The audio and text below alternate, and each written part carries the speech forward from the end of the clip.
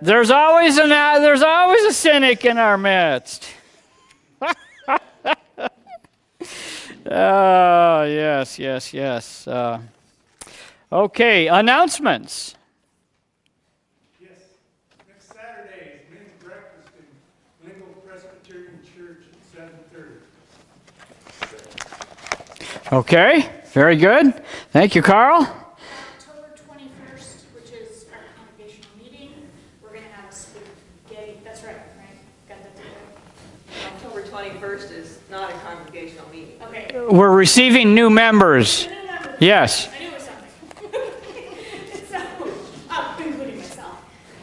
to have a spaghetti dinner, Okay. which we will provide the spaghetti, but we'd like the congregation to bring um, salad and dessert. On the 21st. 21st. Okay. Very good. And the 14th is a session meeting, so be in prayer for that. Um, and then November 4th is the congregational meeting. There's going to be elections, and then there'll be a uh, an, an examination of where we are financially. And that's because we're going to be handing out some pledge cards, and the session feels the responsibility of creating a budget in keeping with a prayerful uh, pledge uh, for the year of 2019 that's coming. And to not do so uh, is somewhat irresponsible. So, this is the path we're choosing, and you will get that shortly. Uh, and take it home, pray, discuss, and help us to create a budget that is faithful and responsible. Yes. And in all of those dates, October 28th, the Cobra Baby, we're planning on, or pastors, pastors baptizing the, the Cobra Baby, and the deacons plan on having a reception after that baptism. Just a cake and coffee, that kind of thing, but anyway, so October's ending up being as busy as September. Yeah. Good thing. Yes. Yes, there's uh, a baptism on the 28th, the Sunday closest to the Reformation. Uh, it will be Reformation Sunday, I think, as well. So that's glorious. And uh, uh, there'll be a baptism there with uh, at least one. So, okay. Um, I'll remind you earlier, but November 4th is Daylight Savings Sunday, so as important as that is, you should probably be aware of that as well. Okay, any other announcements or anything? Okay. Um,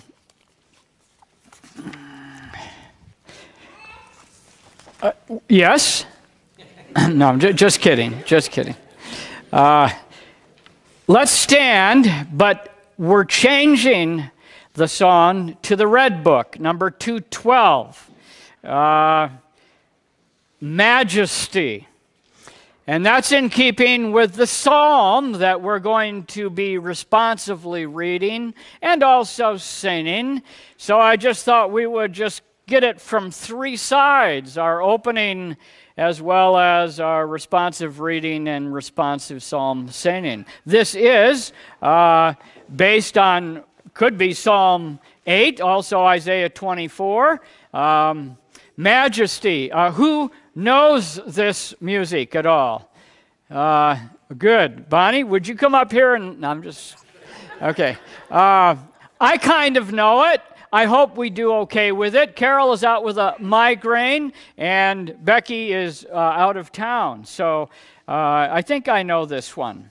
So um, let's uh, open up with a word of prayer first of all, and then we will sing our psalm. Our most heavenly, gracious Father, we are invigorated with the moisture that you've sent and the temperatures are a reminder that we live in a life of constant, continuous change. One philosopher said that you can't put your foot in the same river twice or in the same place in the same river twice because it's flowing. And time is like that. And your word tells us that we're but a vapor and we arise and quickly disappear like steam from a kettle. Truly, the seasons remind us that trees blossom and flowers bloom and they fade year after year, and we are blooming, and we will also shed this mortal body, this tabernacle, and transition into eternity. So, Lord, in this rhythm of worship, help us to be mindful of our creaturely status and yet of your promise of immortality. In Christ's name we pray, Amen.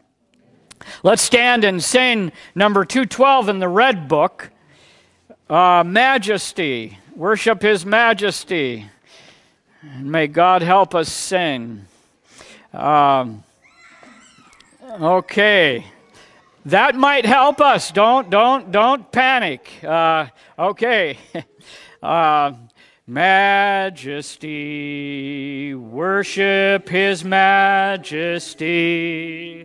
Unto Jesus be all glory, honor, and praise.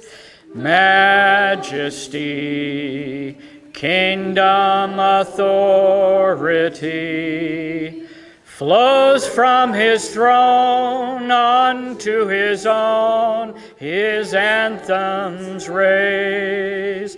So exalt, lift up on high the name of Jesus.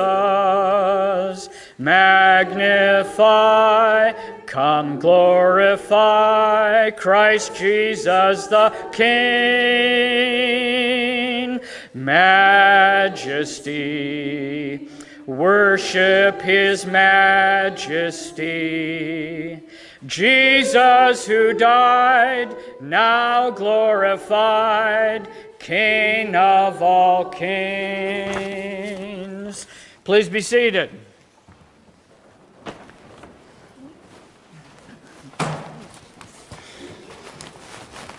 Part of His majesty is His sinlessness, and part of His majesty is that He has bestowed undeserved favor, demerited favor upon those who are sin filled, and that's us.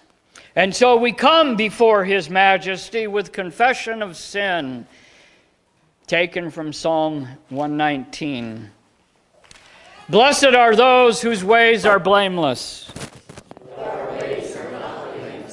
Blessed are those who walk in the law of the Lord. Blessed are those who keep his testimonies. Blessed are those who seek him with their whole heart. Blessed are those who do no wrong. Oh, that my ways may be steadfast in keeping your statutes. Then I shall not be put to shame. Having my eyes fixed on all your commandments, I will pray with an upright heart. The same one who bore our judgment has imparted his spirit within us. In this mystical union that we now possess by faith, we are empowered to bear fruit that is pleasing to Him. The prayer of our heart, therefore, is Will what pleases you, O Lord, and grant what you will.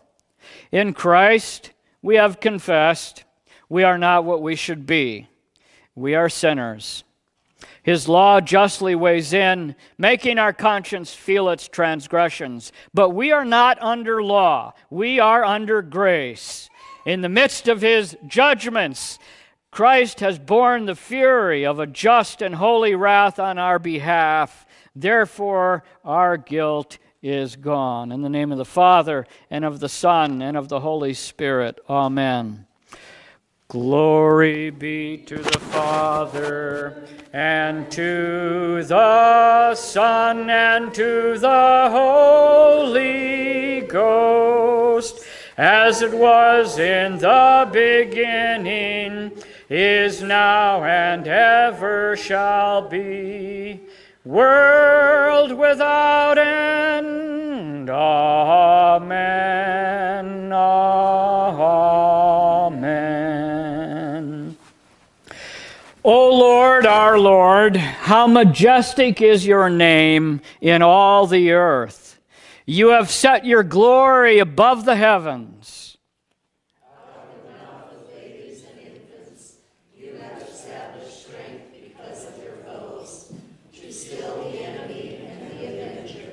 When I look at your heavens, the work of your fingers, the moon and the stars which you have set in place,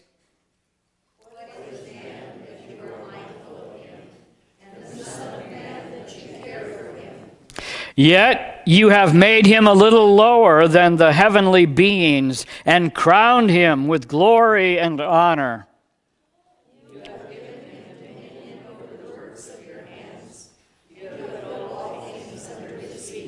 all sheep and oxen, and also the beasts of the field. The birds of the heavens and the fish of the sea, whatever passes along the paths of the seas. O Lord, our Lord, how majestic is your name in all the earth.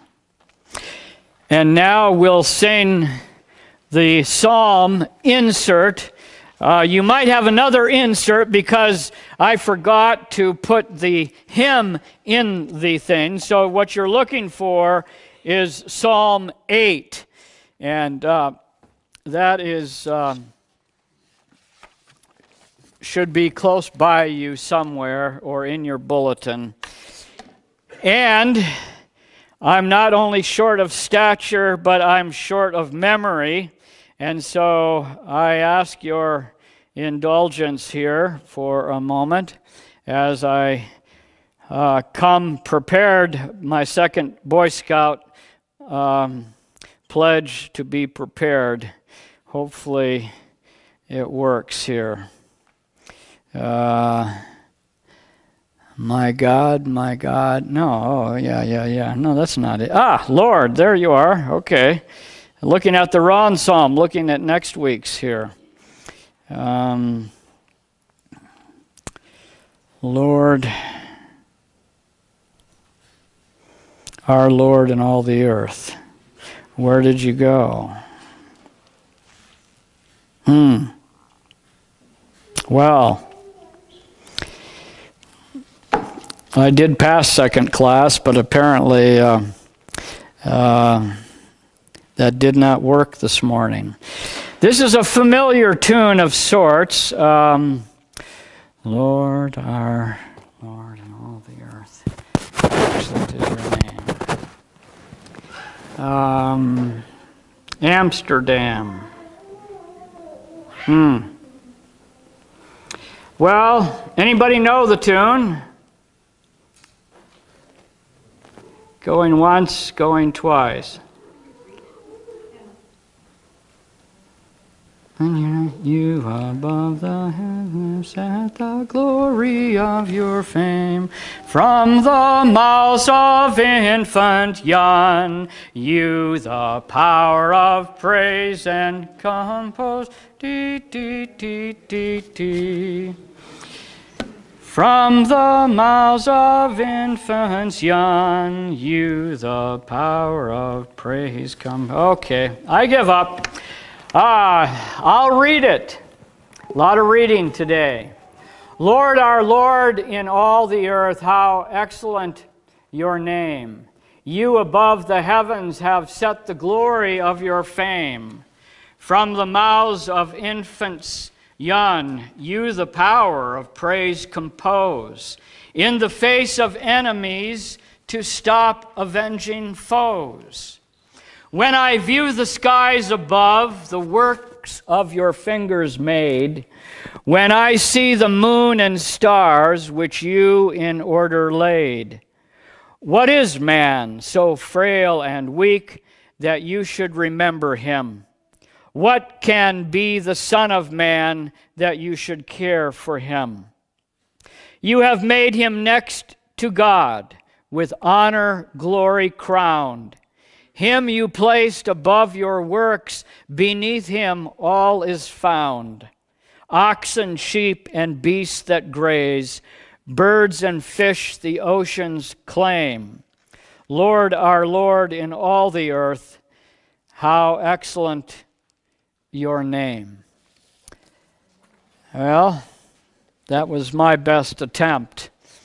So, we will now have the reading of God's Word.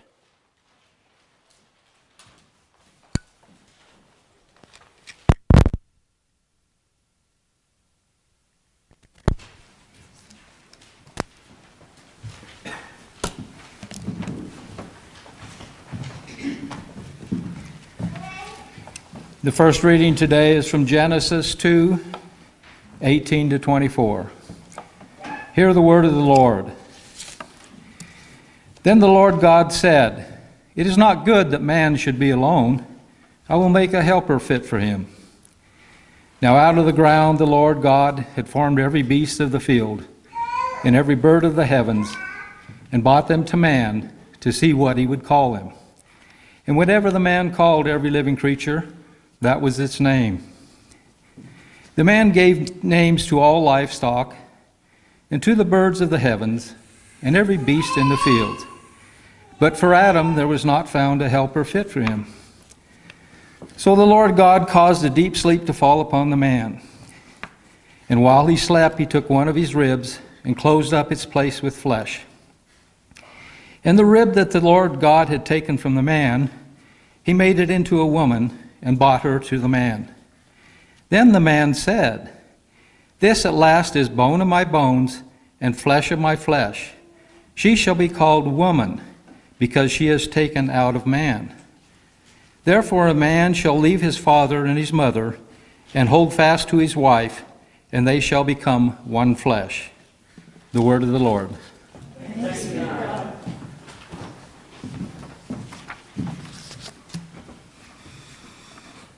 The New Testament reading is from Hebrews 1 1 through 4 and 2 5 through 12.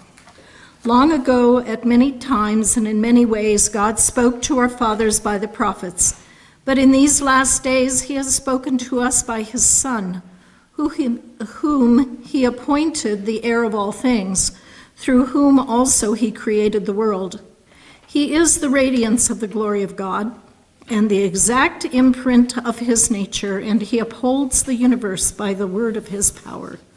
After making pur- purification for sins, he sat down at the right hand of the majesty on high, having become as much superior to angels as the name he has inherited is more excellent than theirs. Now it was not to angels that God subjected the world to come, of which we are speaking. It has been testified somewhere What is man that you are mindful of him, or the Son of Man that you care for him? You made him for a little while lower than the angels. You have crowned him with glory and honor, putting everything in subjection under his feet. Now, in putting everything in subjection to him, he left nothing outside his control. At present, we do not yet see everything in subjection to him, but we see him who for a little while was made lower than the angels, namely Jesus, crowned with glory and honor because of the suffering of death, so that by the grace of God he might taste death for everyone. For it was fitting that he, for whom and by whom all things exist, in bringing many sons to glory, should make the founder of their salvation perfect through suffering. For he who sanctifies and those who are sanctified all have one source. That is why he is not ashamed to call them brothers, saying, I will tell of your name to my brothers. In the midst of the congregation, I will sing your praise. The word of the Lord.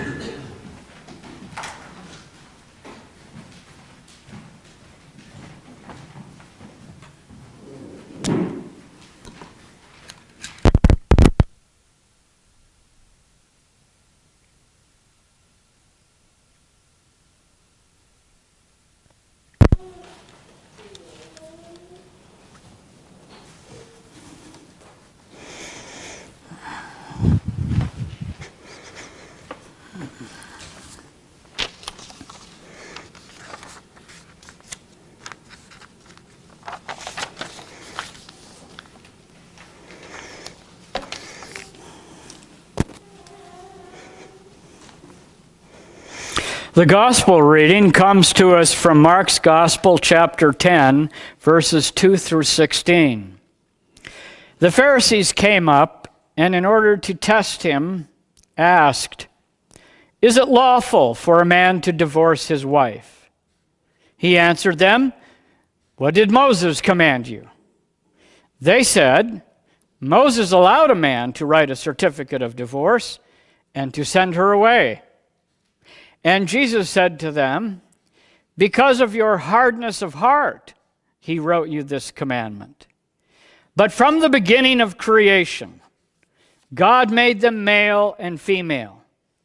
Therefore, a man shall leave his father and mother and hold fast to his wife, and the two shall become one flesh. Let not man, what, God, what therefore God has joined together, let not man separate. And in the house, the disciples asked him again of this matter. And he said to them, Whoever divorces his wife and marries another commits adultery against her.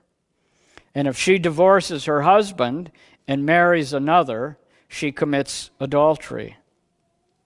And they were bringing children to him that he might touch them. And the disciples rebuked them. When Jesus saw it, he was indignant and said to them, Let the children come to me. Do not hinder them, for to such belongs the kingdom of heaven.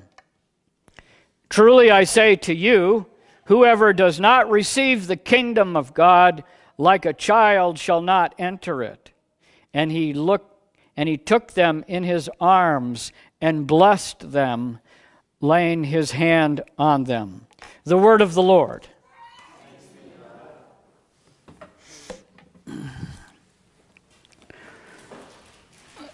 Now let's stand and sing together number 206, or it's on your bench, your pew, Heaven at Home. And could I possibly fail twice in being a Boy Scout? Uh, the answer to that is no. So we do have this. I'm going to play it right now just so you can look at the music. Uh, maybe you can hear it.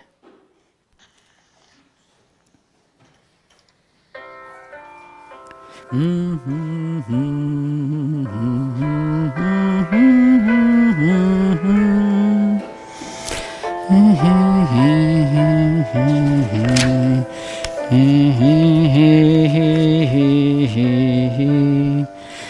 Where mothers pour his mercy on daughters of his love.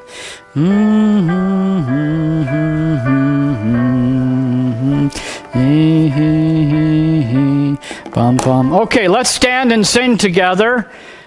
Um, number 207. I think it says 206, but that's correct. Uh, so.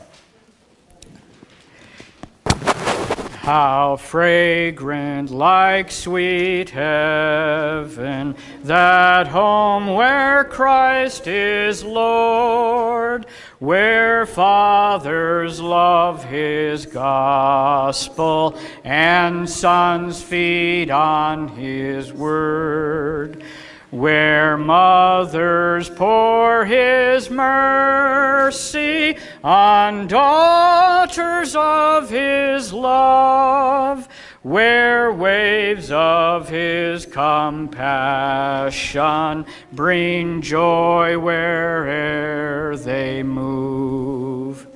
How beautiful their union, how godlike reign, how like that triune oneness who reigns in heaven unseen.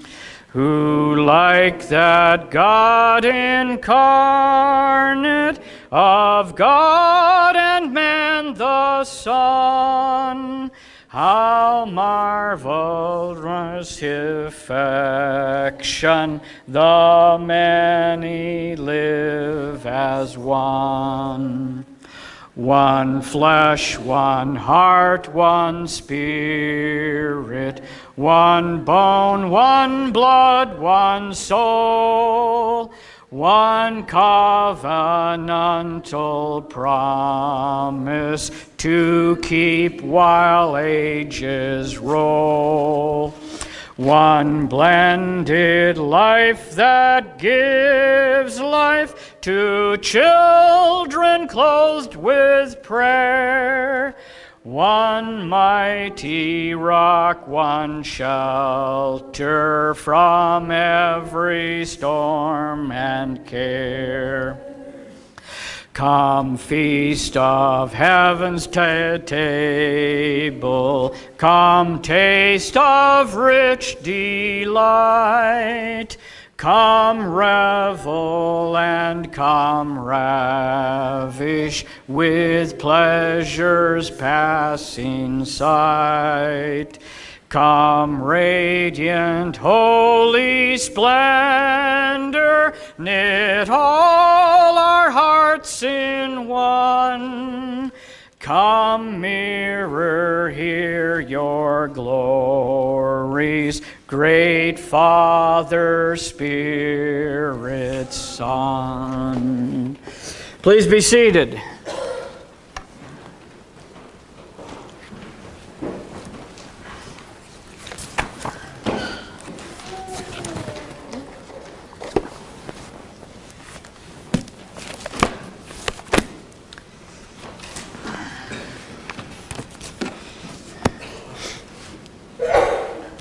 Lord, help us to preach and help us to listen.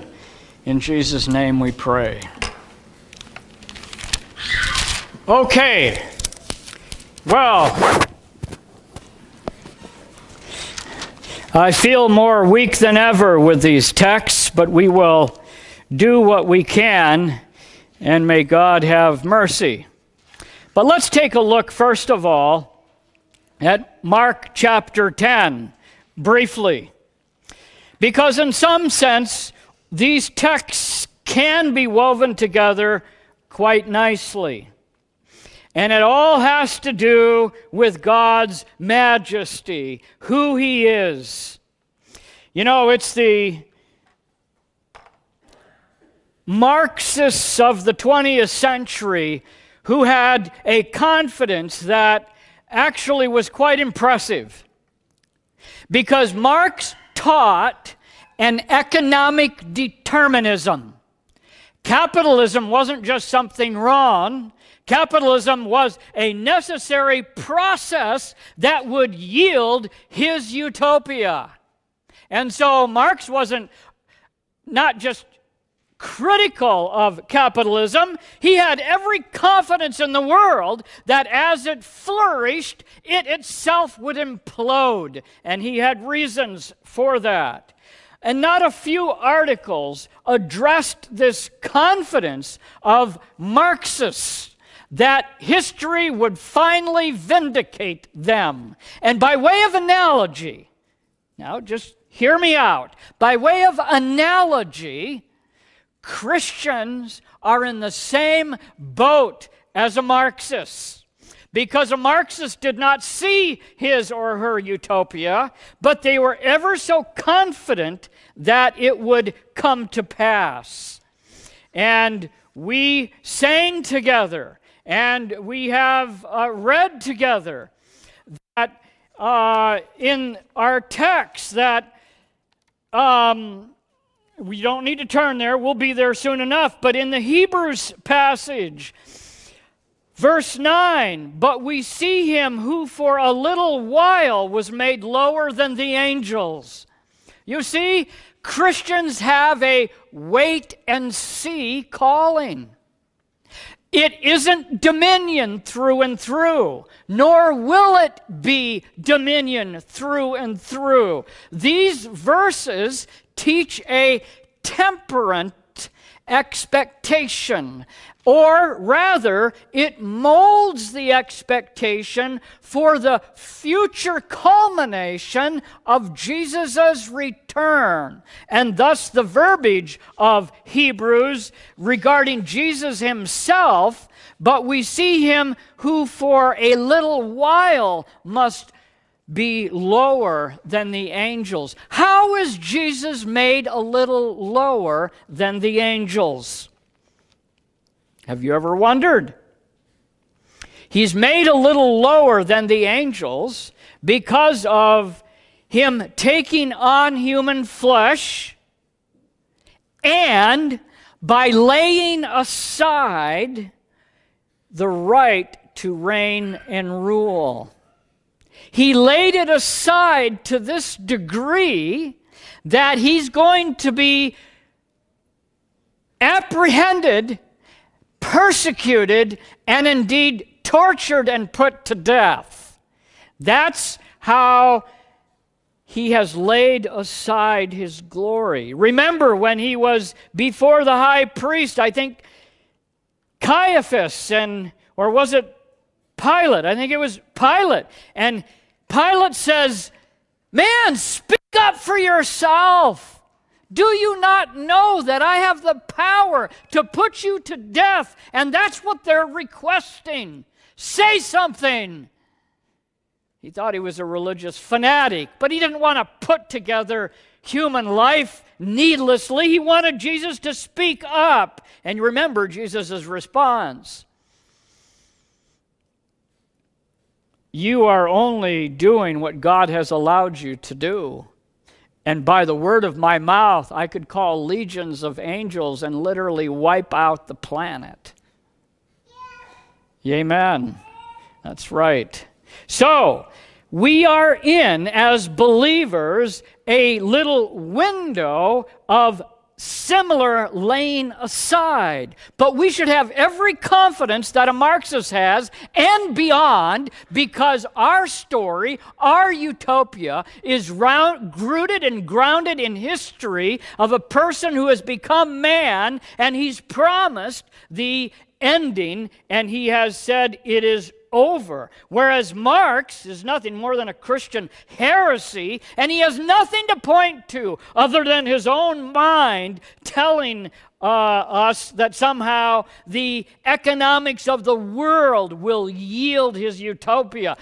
Totally fanciful, totally out to lunch. But Jesus' claim, and we as his followers know for sure because of that event that has solidified and has guaranteed the ending of history.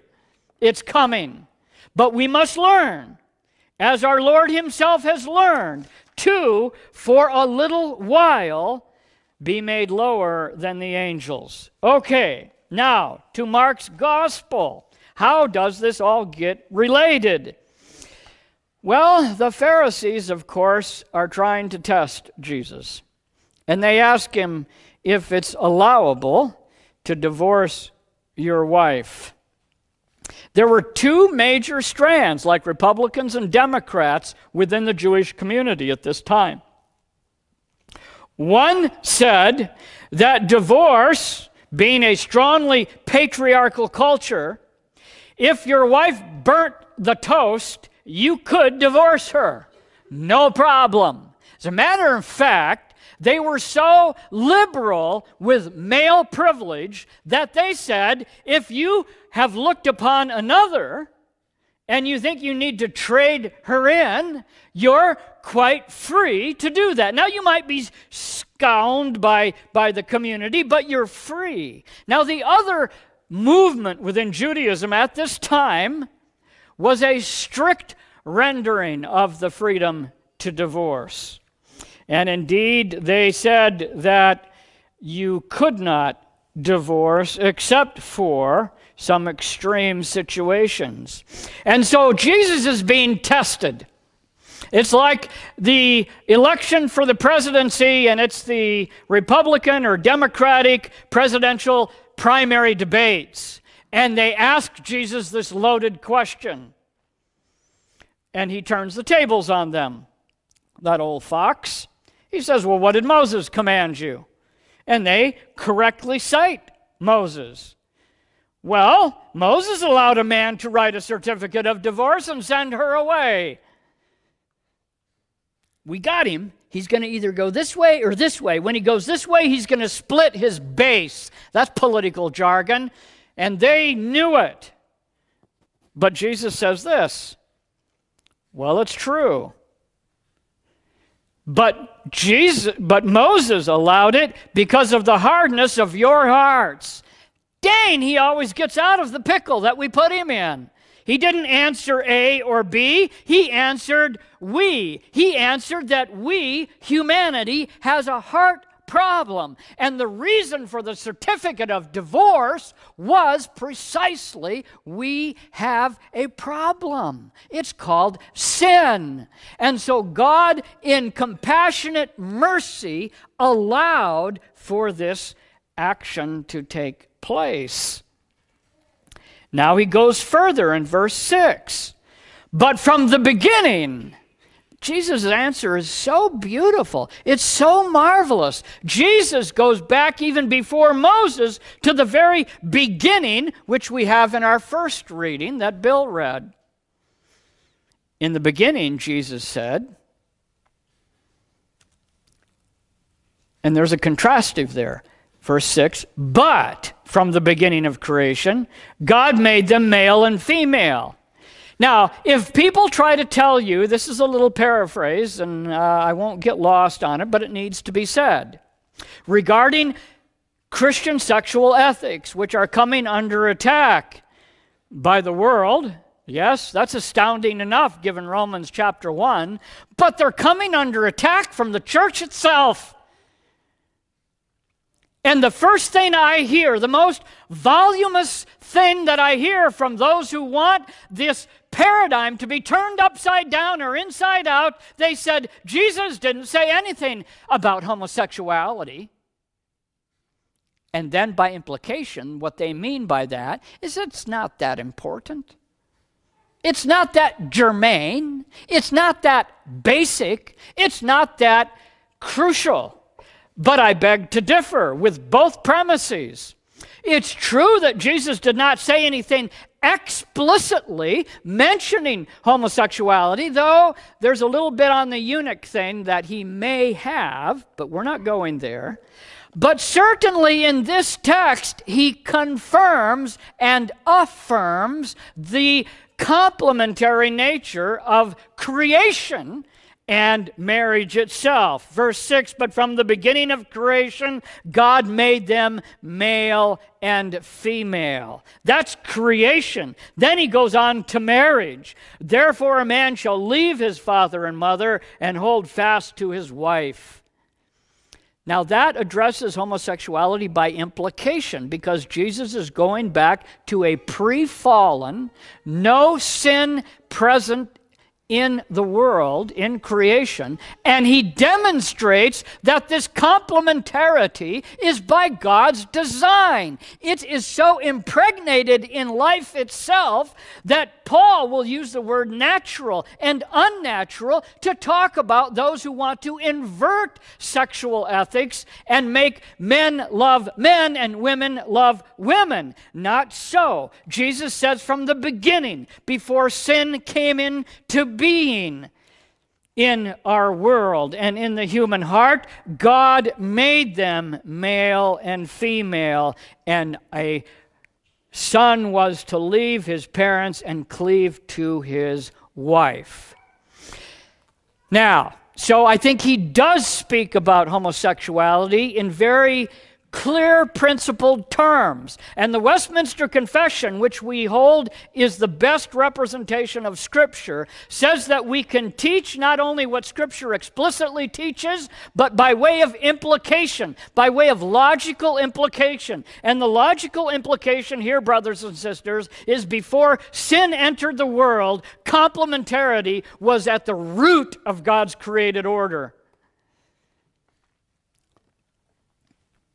And furthermore, since it was at the root of created order, Christians can love humanity, love the common neighbors that God has placed us with, with unbelievers, and He can allow us and He wants us to fight in a democracy for that created order. Why? Well, because Paul's clear that God's judgment is revealed now in present tense against those who so invert the basic created order that God will not stand by for long. He will not forbear indefinitely, and He will rain down His judgment.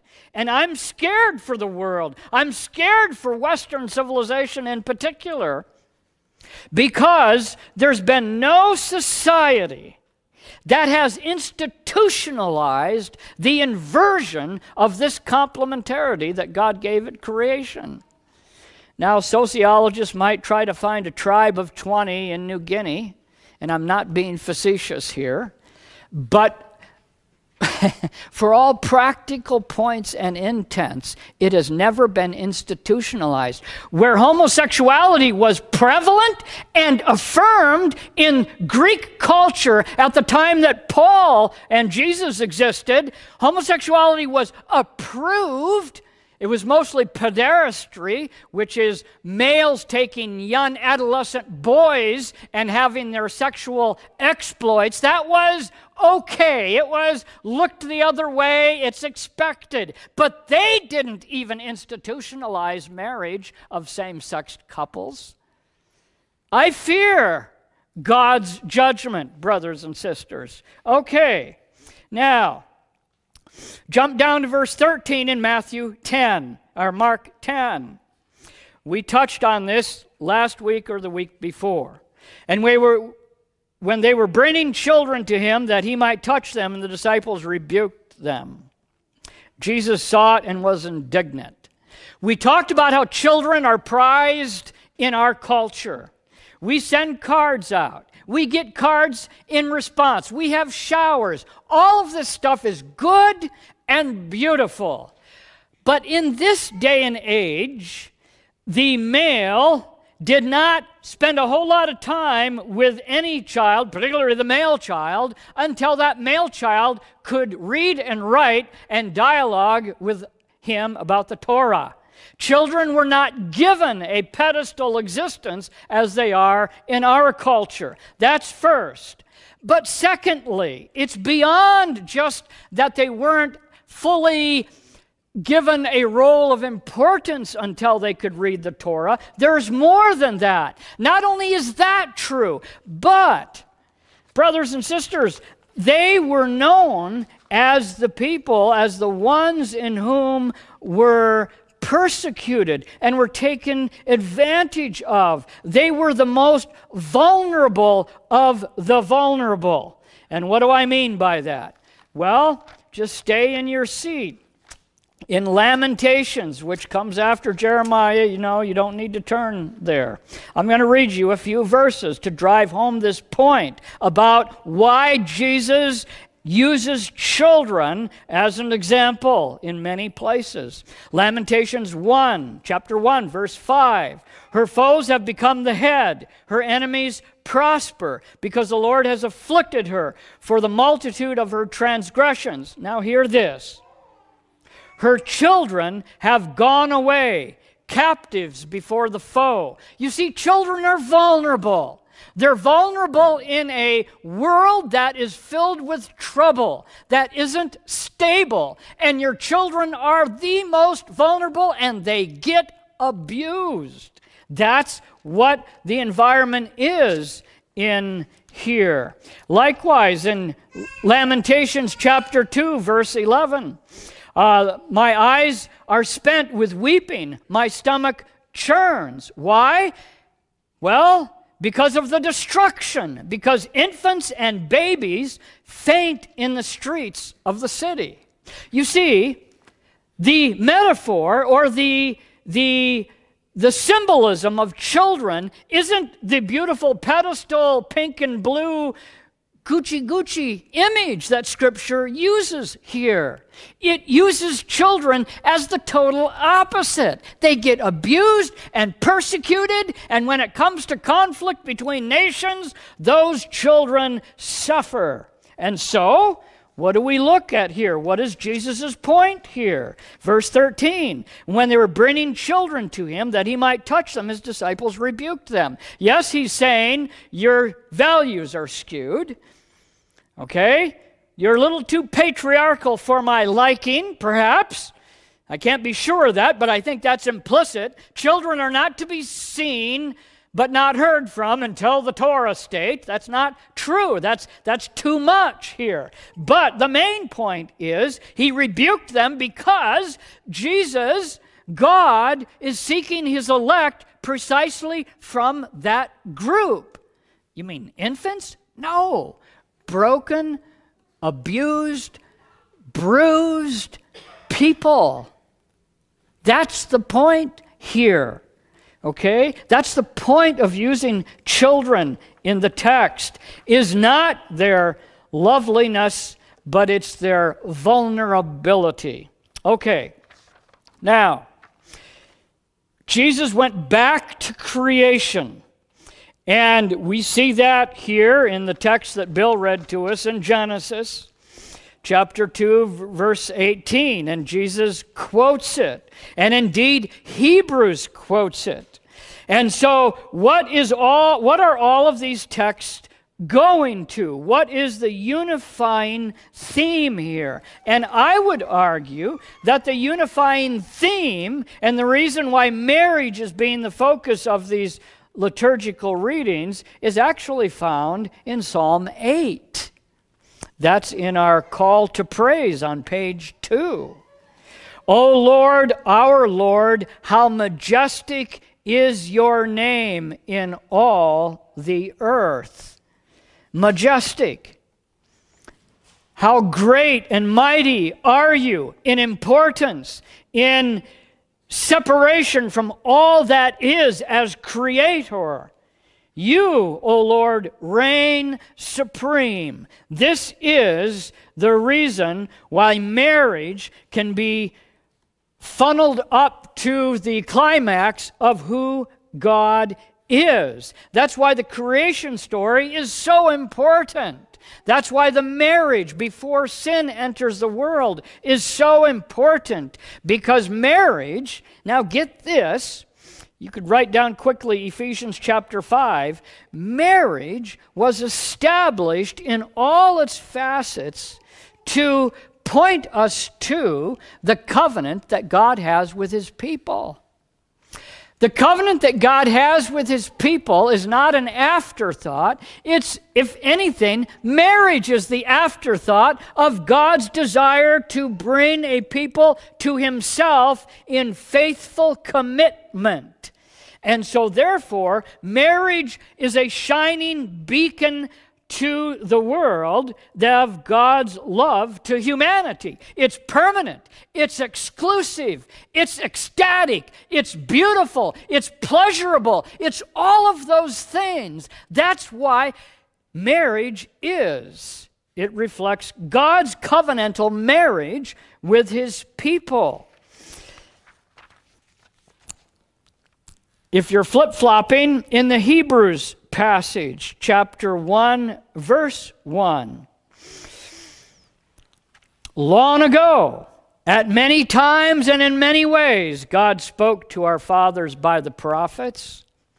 But in these last days, He has spoken to us by His Son, whom He appointed the heir of all things, through whom He also created the world. So, Jesus, in his God manness, in answering the Pharisees and the disciples in Mark chapter 10 about marriage, says, In the beginning, God created them male and female. That's the Son. That's the Word who is created. And that complementarity has his stamp of approval in it, through it, and all around it.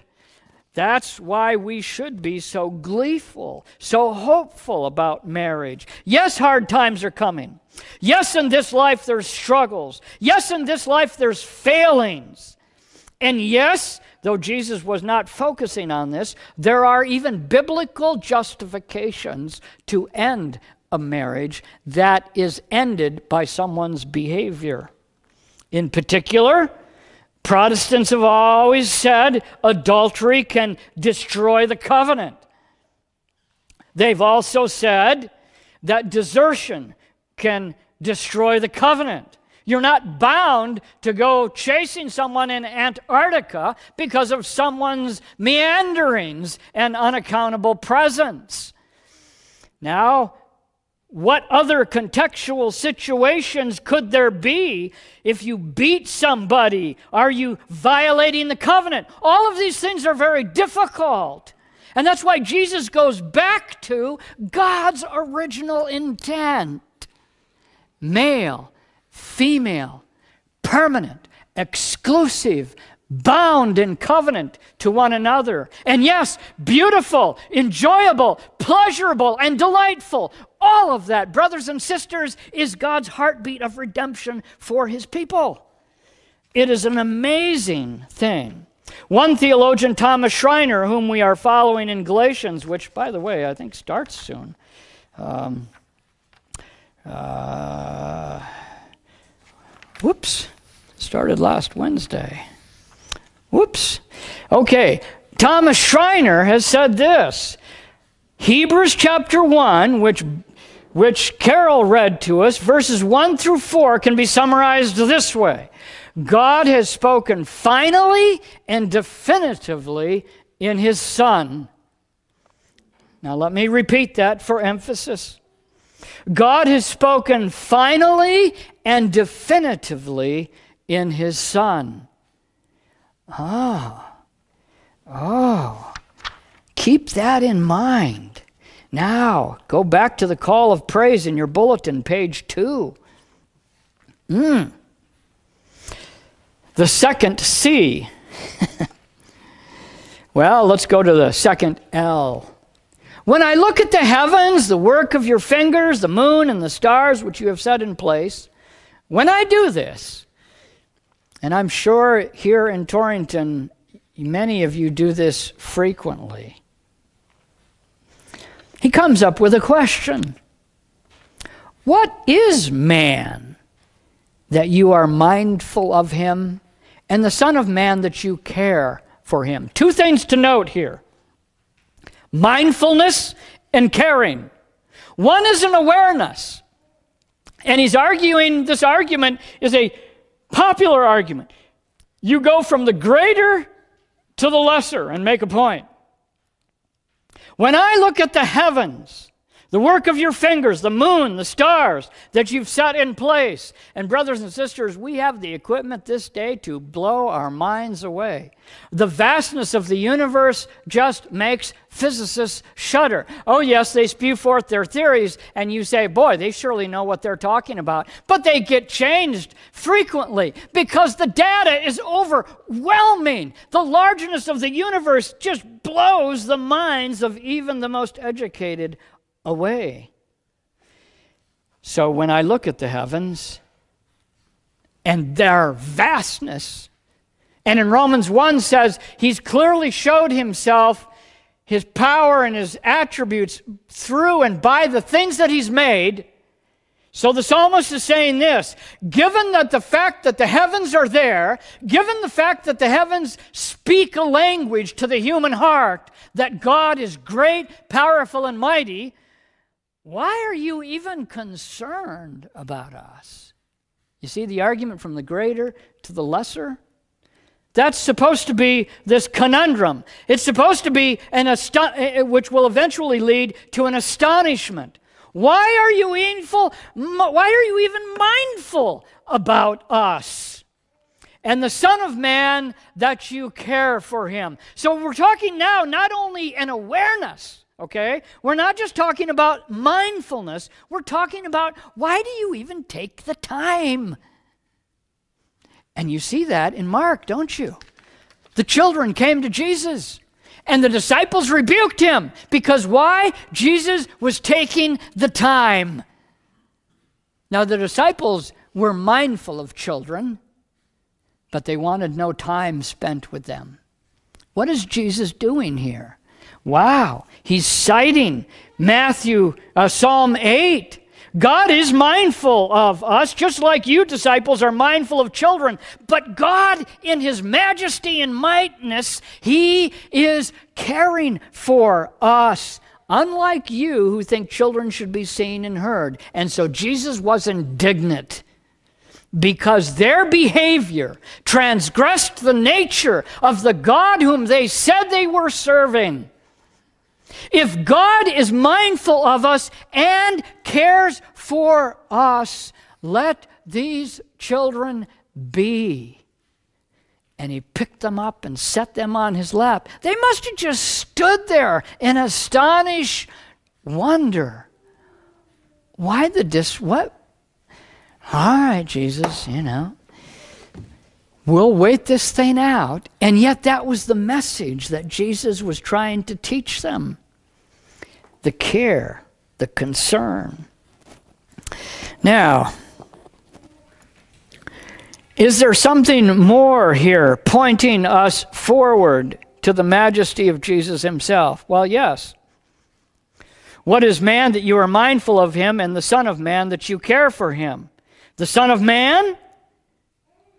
Well, in Hebrews, the chapter 1, the text in the bulletin, it has been testified somewhere what is man that you are mindful of him, or the Son of Man that you care for him. For you made him a little, for a little while, lower than the angels. You have crowned him with glory and honor. So far, so good. That's just human beings. So the context of the psalm would seem to delimit it to that. Verse 8 Then something astonished happens. Astonishing happens in verse 8 in Hebrews chapter 2 putting everything in subjection under his feet. Now, in putting everything in subjection to him, he left nothing outside his control. At present, we do not yet see everything in subjection to him. I don't think he can be talking about just humanity here. Now, it's true, God put the created order under Adam as a vice regent. He had him name the animals, he had him till the garden, he had him be his vice regent, in his place. But do you see the heightened language here in Hebrews chapter 2, verse uh, 9. Now we see him who for a little while was made lower than the angels, namely Jesus. So now the psalmist, or now the writer of Hebrews, looks back at Psalms and sees that it's proper fulfillment, its consummation is not just man himself, it's Jesus Christ.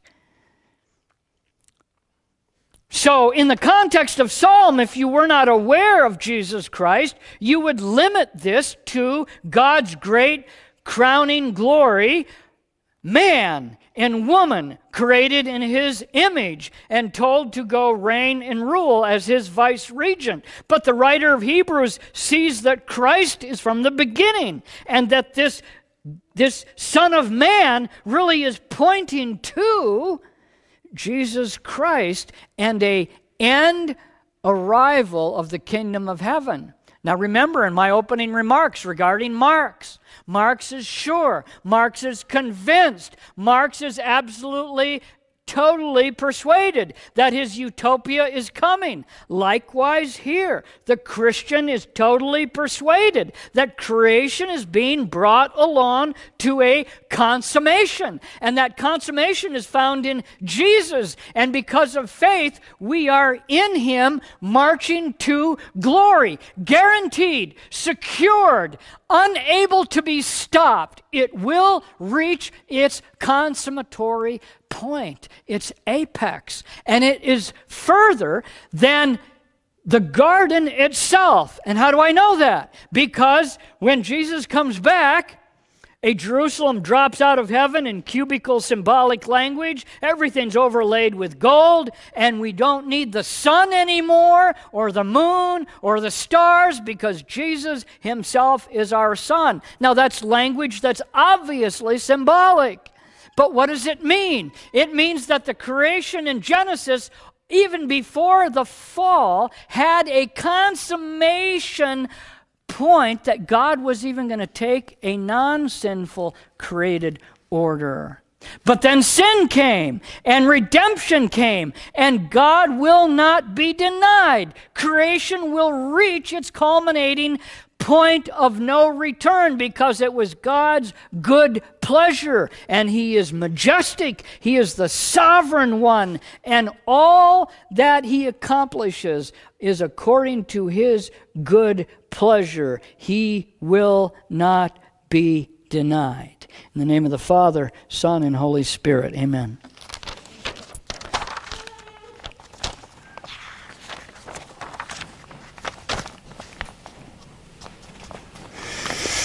Let us then confess this triunity of God in the Apostles' Creed by saying that we believe in the Father, we believe in the Son, and we believe in the Holy Spirit.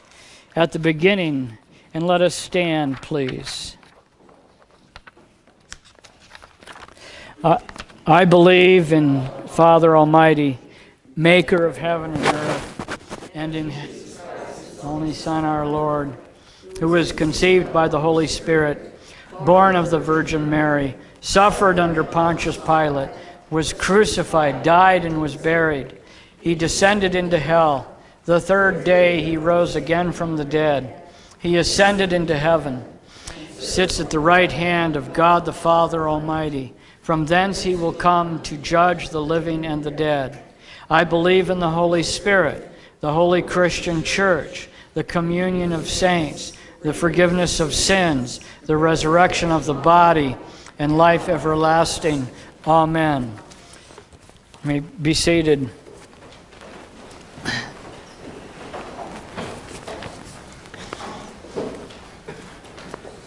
And let us, with thanksgiving, sing the doxology. Praise God from whom all blessings flow. Praise him, all creatures here below. Praise him above, ye heavenly host. Praise Father, Son, and Holy Ghost. Amen. The Lord be with you.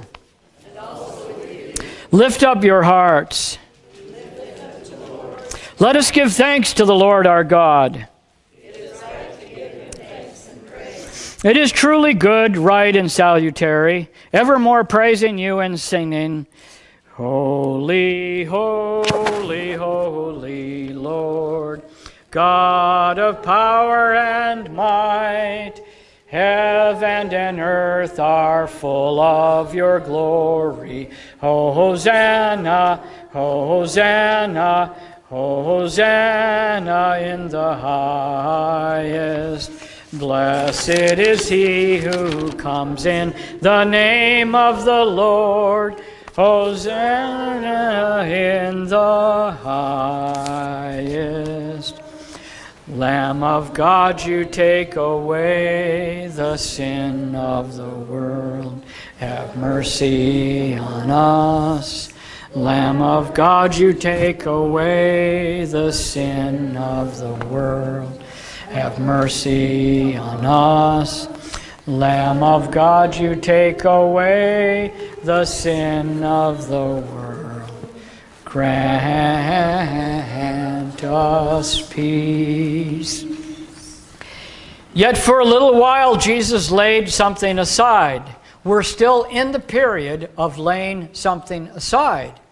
He isn't ruling and reigning in the fullest actualized sense of the term. Indeed, it seems like he's not reigning and ruling at all, much of the time, according to the eyes that have no faith. And so he instilled in his covenant people a rhythm of embracing, reaffirming, and having faith in his covenantal promises. And it's in this meal here. And when he gathered with his disciples before his crucifixion, he took the bread and he broke it and he said, This is my body given for you. In the same way, he took the cup of blessing, and when he had given thanks, he poured the fruit of the vine. And he said, This is the covenant of the New Testament. My blood shed for you for the remission of sins. This drink of it, all of you, in remembrance of me.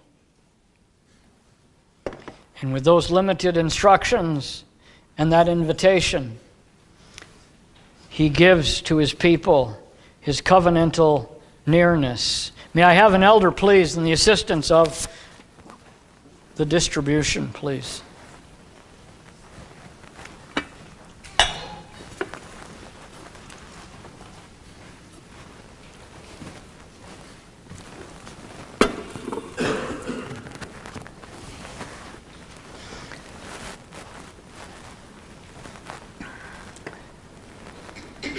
For a little while, we're still in that little while time.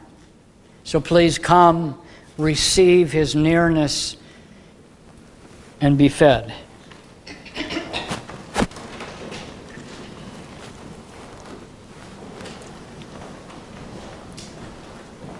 Christ's body. Christ's body. Carol, the blood of Christ shed for you. Bill, the blood of Christ shed for you. Darlene, the blood of Christ shed for you. Thank you. Beth, the blood of Christ shed for you. Christ's body. Carolyn, the blood of Christ shed for you. Christ's Gary, body. the blood of Christ shed for you. Christ's body. Bonnie, the blood of Christ shed for you. Glenn, the blood of Christ shed for you. Grace, the blood of Christ shed for you.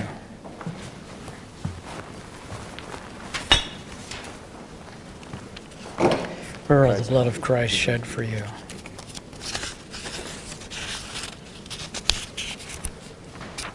Christ's body. Given for. Kay, the blood of Christ shed for you. Christ's body. Wade, the blood of Christ shed for you. Susan, the blood of Christ shed for you. Christ's body. Given for you. Luke, the blood of Christ shed for you. Hope, the blood of Christ shed for you. Christ's body. Given for you. Katie, the blood of Christ shed for you. And the blood of Christ shed for you. The blood of. Christ shed for you. The blood of Christ shed for you. The blood of Christ, Carolyn, shed for you.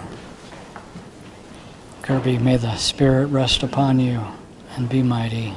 May you know his favor throughout your days. In Christ's name, amen. Lee, the blood of Christ Christ's shed for you. Given for you.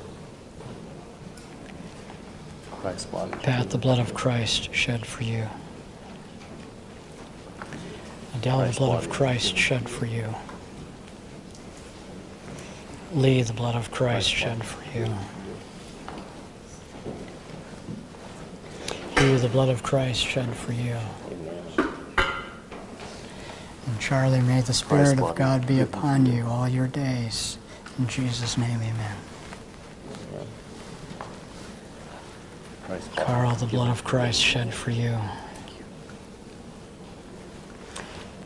Roy, the blood of Christ shed for you. Christ's body. Given for you. And the blood of Christ, Kurt, shed for you.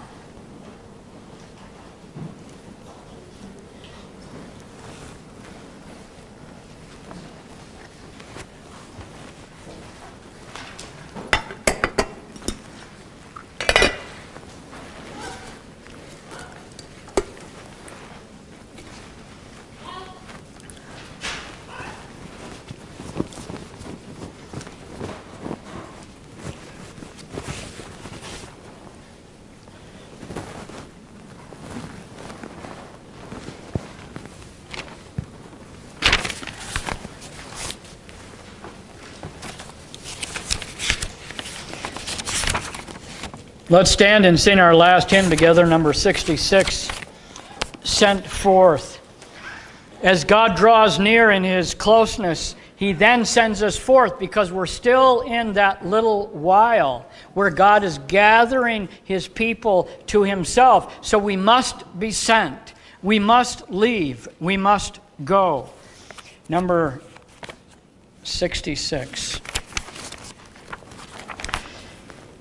Sent forth by God's blessing, our true faith confessing, the people of God from his dwelling take leave. Is ended, oh, now be extended the fruits of this service in all who believe. Teaching, receptive souls reaching shall blossom in action for God and for all. Grace did invite us, His love shall unite us for God's kingdom and answer His call. With praise and thanksgiving to God ever living, the task of our everyday life we will face. Our faith ever sharing, in love ever caring, embracing His children of each tribe and race. With your feast you feed us, with your light now lead us, unite us as one in this life that we share. All the living.